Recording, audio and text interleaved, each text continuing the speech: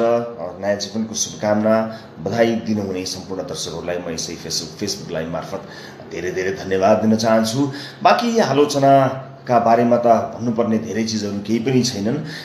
केही मानिसहरूलाई कहिल्यै पनि परिवर्तन गर्न सकिन्न चाहे जतिसुकै राम्रो काम गरौँ चाहे अमृतकै वर्षा गरौँ केही मानिसहरू स्वभावैले गाली गलोज र आलोचना गरिरहने नै हुन्छन्। ती मानिसहरूलाई प्रेरणाको स्रोत बनाउन सकिन्छ भन्ने कोसिस मात्र रहिरहन्छ र त्यो बाहेक अरू धेरै भन्नुपर्ने केही पनि चिज छैनन् र यी सम्पूर्ण विषयहरूमा जति पनि प्रतिक्रियाहरू प्राप्त भएका छन् चाहे ती गालीका रूपमा आएका हुन् चाहे ती चित्त दुख्ने गरी घुमाउरो पाराले घोचपेचका रूपमा आएका हुन् ती सबै मलाई स्वीकार्य छन्।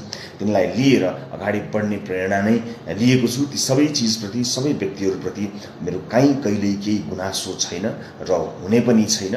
जीवनको मोडमा भइपरि आएका घटनाहरूसँग जुत्दै र लड्दै अघि बढ्नुको विकल्प कोसँग छ र मसँग होस् मसँग पनि त्यस्ता विकल्पहरू केही पनि छैनन् तर यस परिस्थिति हरेक परिस्थितिलाई हेर्ने सबैको आ आफ्नै आँखा हुन्छ आफ आफ्नै दृष्टिकोण हुन्छ।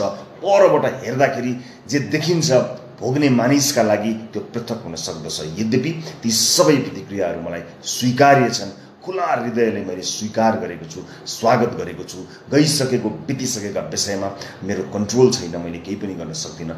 आगामी दिनहरूलाई असल बनाउनको निमित्त सत्मार्गमा लागिरहनको निमित्त यी सबै विषयहरूलाई मैले प्रेरणाको रूपमा लिने निर्णय गरि नै सकेको छु। यस अर्थमा सम्पूर्ण दर्शकहरूलाई म यसै फेसबुक लाइभ मार्फत धन्यवाद दिन चाहन्छु। सम्पूर्ण प्रतिक्रियाहरू चाहे राम्रा नराम्रा तिता मिठा अमिला घोच्ने खालका बिझाउने खालका पिरो हुने खालका जति पनि किसिमका छन् ती सबै सबै सबै सबै सबै स्वीकार्य छन् स्वीकार गर्दछु र आगामी दिनहरूले अझ बढी अझ बढी आगामी दिनहरूमा जिम्मेवार बन्दै आफ्नो पेसाप्रति पूर्ण वफादार हुँदै लागिरहने प्रतिबद्धता यहाँहरू सम्पूर्ण दर्शकहरूलाई म अभिव्यक्त गर्न चाहन्छु। हुन त हाम्रा कार्यक्रमको साढे तिन सय एउटा एपिसोड प्रस्तुत हुँदा कहिल्यै पनि त्यति धेरै कार्यक्रममा एउटा न एउटा रिपोर्ट त गतिलो बनायौँ कि हामीले? ती काहीँ कहिले तिनका बारेमा चर्चा नगर्ने कतिपय मित्रहरू पनि गलत समाचारहरू खोज्दै खोज्दै खोज्दै खोज्दै घोचपेच गर्दै राख्न पनि तल्लीन हुनुभएको छ। खै एउटा भनाइ याद आयो। चाहे जतिसुकै राम्रो काम गरे पनि मानिस एउटा दुईवटा गल्तीको प्रतीक्षामा हुन्छ अरे। यस कुरालाई मध्यनजर गर्दै आगामी दिनहरूको मार्ग कोर्ने कोसिस म पक्कै पनि गर्नेछु। योभन्दा धेरै भन्नुपर्ने कुराहरू केही पनि छैन। बस सम्पूर्ण दर्शकहरू शुभचिन्तक परिवार आफन्तलाई म धेरै धेरै धन्यवाद दिन चाहन्छु र आगामी दिनमा पनि मार्गदर्शनको अपेक्षा गर्दछु। भन्दै आजका लागि फेसबुक लाइभबाट बिदा लिने बेला आइसकेको छ। कार्यक्रम नियमित छ नियमित रूपमा प्रस्तुत भइ नै रहेको छ भइ नै रहनेछ। अनवरत रूपमा व्यक्तिगत जीवन र आफूले गर्ने कार्यक्रमसँग खासै त्यस्तो त्यति धेरै तालमेल छैन। तर दर्शकहरूलाई धन्यवाद दिनैपर्छ।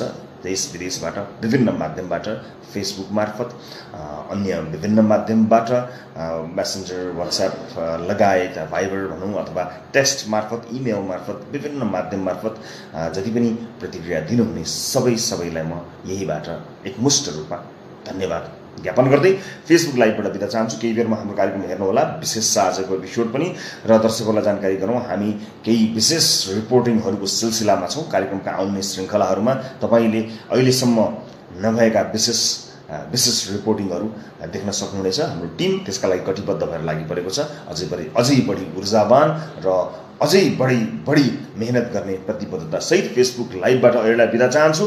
केही बेरमा आठ बजेर पैँतालिस मिनटमा कार्यक्रम सिधा कुरा जनतासँग प्रत्यक्ष रूपमा हेर्ने कोसिस गर्नुहोला न्युज ट्वेन्टी फोर टेलिभिजनमा। कथम कदाचित छुटाउनु भयो तपाईँहरूले भने हाम्रो युट्युब च्यानलमा हामी चाँडोभन्दा चाँडो अपलोड गर्ने कोसिस गर्नेछौँ। आज यहाँ देखिनुहुने कसैको पनि नाम लिन पाइनँ त्यसको लागि म क्षमा चाहन्छु। आगामी कार्यक्रममा दर्शकहरूको नाम पनि उल्लेख गर्ने कोसिस गर्नेछु भन्दै फेसबुक लाइभबाट बिदा चाहन्छु। नमस्ते।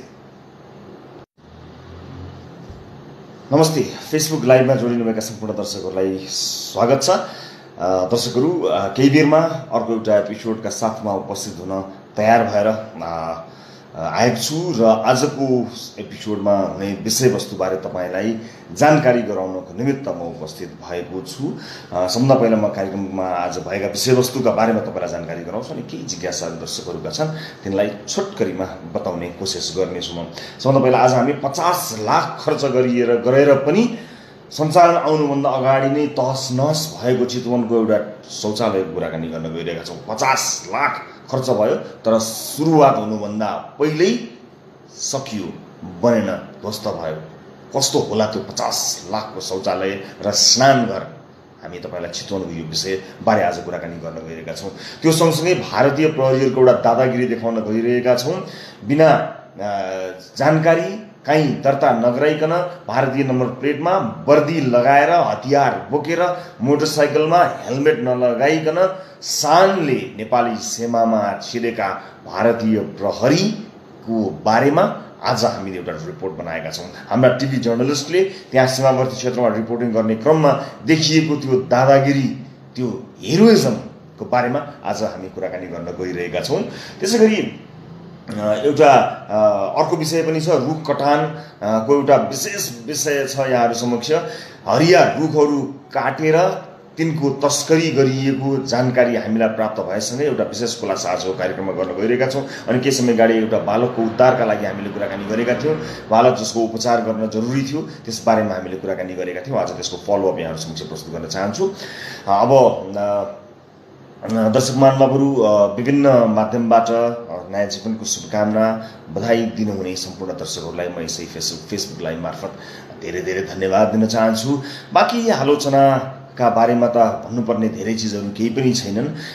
केही मानिसहरूलाई कहिल्यै पनि परिवर्तन गर्न सकिन्न चाहे जतिसुकै राम्रो काम गरौँ चाहे अमृतकै वर्षा गरौँ केही मानिसहरू स्वभावैले गाली गलोज र आलोचना गरिरहने नै हुन्छन्। ती मानिसहरूलाई प्रेरणाको स्रोत बनाउन सकिन्छ भन्ने कोसिस मात्र रहिरहन्छ र त्यो बाहेक अरू धेरै भन्नुपर्ने केही पनि चिज छैनन् र यी सम्पूर्ण विषयहरूमा जति पनि प्रतिक्रियाहरू प्राप्त भएका छन् चाहे ती गालीका रूपमा आएका हुन् चाहे ती चित्त दुख्ने गरी घुमाउरो पाराले घोचपेचका रूपमा आएका हुन् ती सबै मलाई स्वीकार्य छन्। तिनलाई लिएर अगाडि बढ्ने प्रेरणा नै लिएको छु। ती सबै चिजप्रति सबै व्यक्तिहरूप्रति मेरो काहीँ कहिल्यै केही गुनासो छैन र हुने पनि छैन। जीवनको मोडमा भइपरि आएका घटनाहरूसँग जुत्दै र लड्दै अघि बढ्नुको विकल्प कोसँग छ र मसँग होस् मसँग पनि त्यस्ता विकल्पहरू केही पनि छैनन् तर यस परिस्थिति हरेक परिस्थितिलाई हेर्ने सबैको आ आफ्नै आँखा हुन्छ आफ आफ्नै दृष्टिकोण हुन्छ। परबाट हेर्दाखेरि जे देखिन्छ भोग्ने मानिसका लागि त्यो पृथक हुन सक्दछ। यद्यपि ती सबै प्रतिक्रियाहरू मलाई स्वीकार्य छन्। खुला हृदयले मैले स्वीकार गरेको छु स्वागत गरेको छु।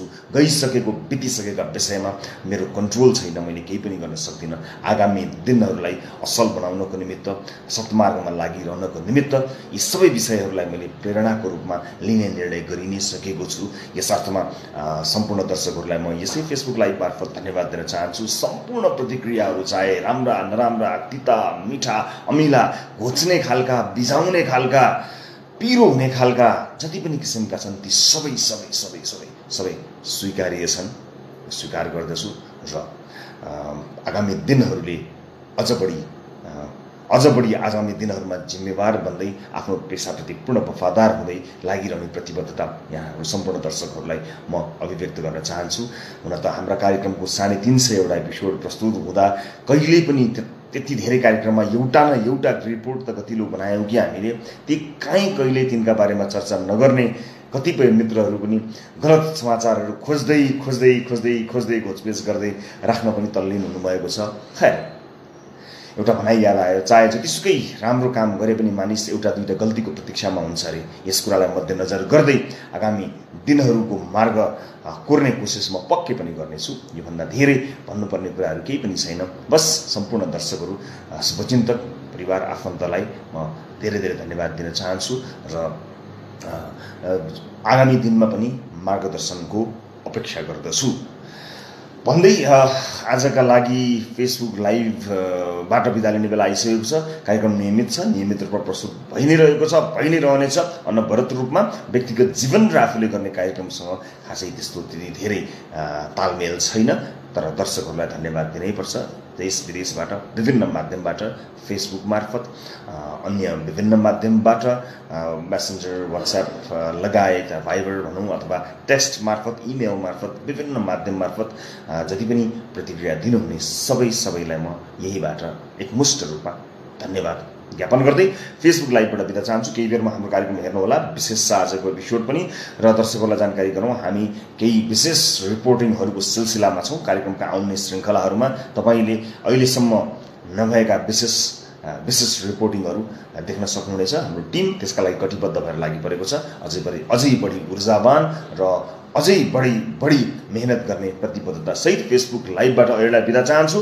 केही बेरमा आठ बजेर पैँतालिस मिनटमा कार्यक्रम सिधा कुरा जनतासँग प्रत्यक्ष रूपमा हेर्ने कोसिस गर्नुहोला न्युज ट्वेन्टी फोर टेलिभिजनमा। कथम कदाचित छुटाउनु भयो तपाईँहरूले भने हाम्रो युट्युब च्यानलमा हामी चाँडोभन्दा चाँडो अपलोड गर्ने कोसिस गर्नेछौँ। आज यहाँ देखिनु हुने कसैको पनि नाम लिन पाइनँ त्यसको लागि म क्षमा चाहन्छु। आगामी कार्यक्रममा दर्शकहरूको नाम पनि उल्लेख गर्ने कोसिस गर्नेछु भन्दै फेसबुक लाइभबाट बिदा चाहन्छु नमस्ते